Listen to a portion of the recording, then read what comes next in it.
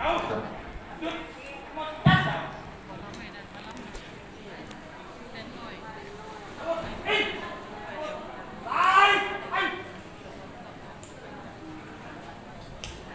ำความเคารพประธานในพิธี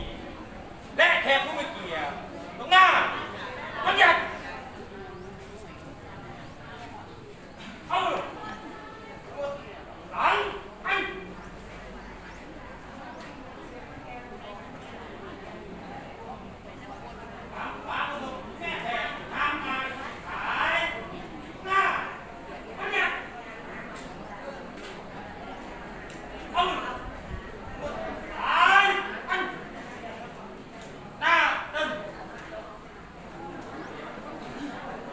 นะครับก็ขอขอบคุณคณะปปปตำบลลุงท่านะครับ ซึ่ง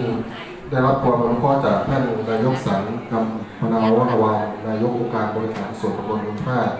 นะครับ